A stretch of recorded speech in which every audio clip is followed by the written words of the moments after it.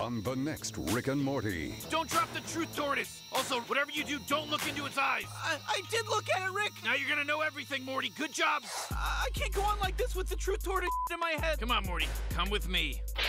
What the hell is this? This, Morty, is my archive of all the experiences you've begged me to remove from your life. I call them Morty's Mind Blowers. And we'll be doing this instead of interdimensional cable. Rick and Morty, next Sunday at 11:30.